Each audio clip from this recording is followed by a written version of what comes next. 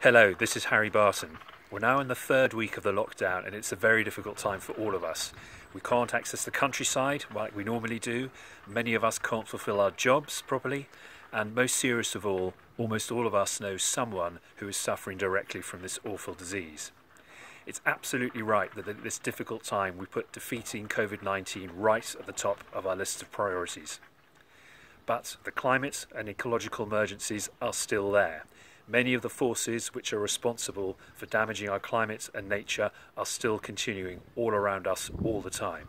And it's vital that the work of the Devon Wildlife Trust continues just as it always has.